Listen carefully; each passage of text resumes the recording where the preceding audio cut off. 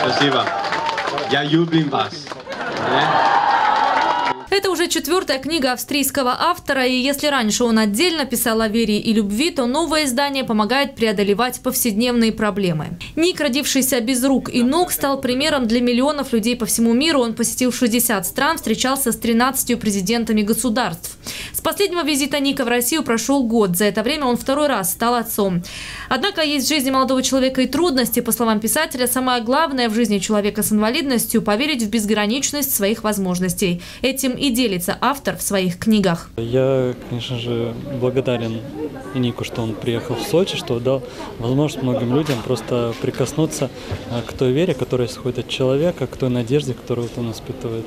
Восхищаемся его путем, его задачей в жизни и тем, что он несет планете, что он несет людям.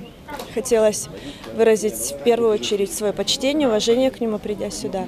Благодарность. Благодарность и огромную любовь. То, что он...